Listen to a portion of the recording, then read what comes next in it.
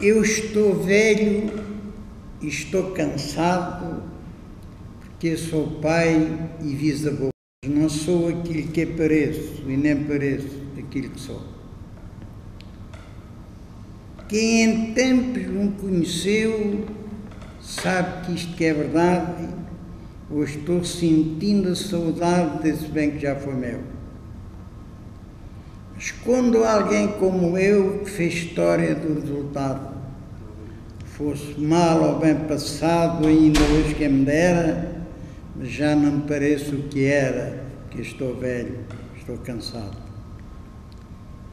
Eu sou aquela pessoa que os anos mandam em mim, estou no princípio do fim, porque a idade não perdoa.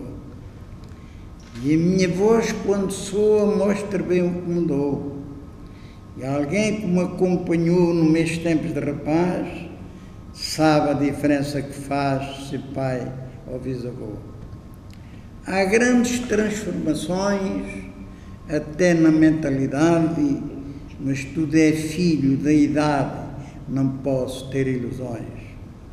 Já não tenho pretensões àquilo que eu gosto e conheço de tudo quanto te mereço, já pouco ou nada espero, porque não sou quem eu quero, mas não sou aquilo que apareço. Tantas horas que eu passo a falar só e comigo, porque se não faço o que digo, também não digo o que faço. E sempre posso, disfarço tudo quanto se passou. Mas o tempo não perdoou que dê-me uma imagem diferente e por isso, para muita gente, não parece aquilo que são.